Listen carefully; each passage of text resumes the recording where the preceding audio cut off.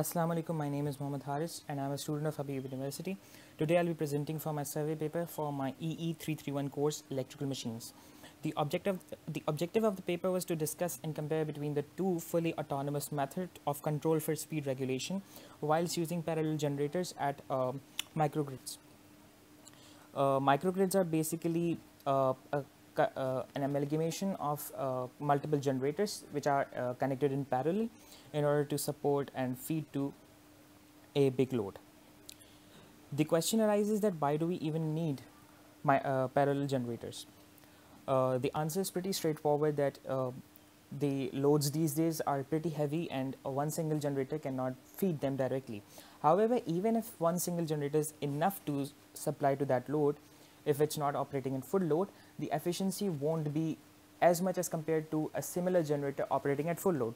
How, uh, in order to do that, we have a small uh, uh, lower power rating couple uh, more than one generators paralleled and they are supplying to the common load and all of them are operating at full loads. Hence, the efficiency of the generation site increases. Furthermore, uh, the parallel generators introduce a concept of backup generators and uh, maintenance without shutting down the power, so it increases the reliability of the power generation side. However, there are conditions for uh, there are certain conditions for paralleling the generators. The first one being the same exact same voltage VRMS level for all the generators that are paralleled. The parallel generators must have the same phase sequence, be it ABC or ACB. Uh, the phase angles, which in our case is 120 degrees, must be the exact same for all of the parallel generators.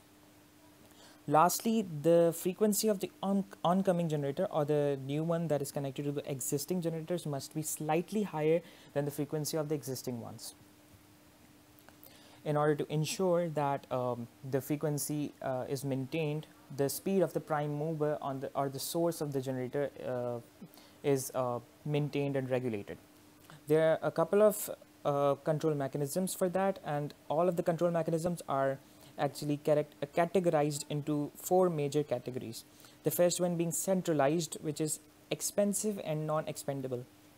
The second and third are hierarchical or distributive, which mainly uh, revolve around the idea of telecommunication. The fourth one is, which is being, uh, which is the spotlight of this presentation, is the fully autonomous. This paper will focus on two of the fully autonomous control methodologies.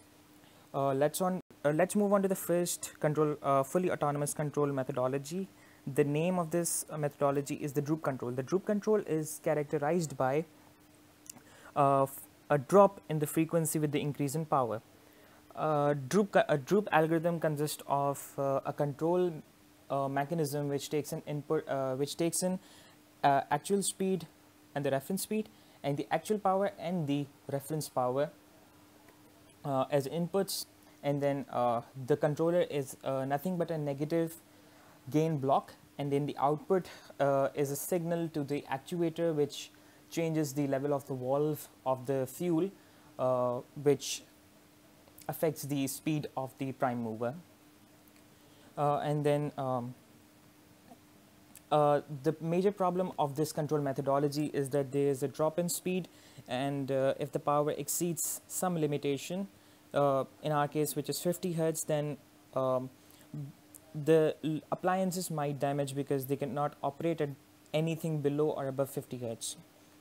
So therefore, uh, this uh, methodology is a little discouraged. So um, the other methodology that we are going to discuss is the isochronous control. The isochronous control uh, there isn't a drop in frequency until a threshold maximum power. The frequency stays at 50 hertz but the uh, the problem with this methodology is that if we have more than one generators then due to a inherent feedback loop uh, feedback loop uh, control methodology uh, the difference between the frequency of the oncoming and the existing generators will keep on increasing keep on increasing until to the point that the uh, the oncoming generator actually starts behaving like a motor and defeating the purpose of parallel generation. So uh, in uh, 2017 there was uh, another control methodology which was uh, introduced and it uh, it was an am amalgamation of both the isochronous and droop methodology, and it's it it's therefore called the hybrid isochronous and droop control strategy. This strategy uh, basically uh, ensures that there's a lot there's not much of a droop uh, or drop in frequency levels, and it maintains it and a couple of generators can be paralleled without uh, affecting the overall frequency. It can be seen from the graphs that when the generate generation starts and the load is very low, only the first generator is supplying the power and regulates the frequency to the nominal, spree, uh, nominal reference frequency using the ISO control, isochronous control mode. However, when it is about to reach its limit, the other generator has to start due to the increasing load. Although this problem can be easily tackled by using communication channels and triggering a signal, but since communication channels are discouraged in microgrids because of high interference at sites, they cannot be used. However, instead of communication, uh, the, the problem with the communication channels is that uh, due to a lot of inductive uh, phenomena going out in the generation side, they, the inductive uh, lines actually interfere with the communication data channels and therefore they are not used there. Uh, but instead of the communication channels, uh, a minor droop is introduced in the second generator, hence triggering it. The same procedure continues for any ith generator with the increase in load. And the converse is also true that if the, um, the there is a decrease in load, the generator is shut close. Hence, it increases the quality by regulating the frequency in a much, much better way than the control methodologies discussed above and shuts down the generators except for the priority ones at the times when the load is low. Hence, it's much better than the above two control methodologies discussed. However, there, uh, for future references, there will be a hybrid um, methodology which uh, entails the other categories for uh, control methodologies as well with taking care of the feasibility of the cost and interference. Thank you.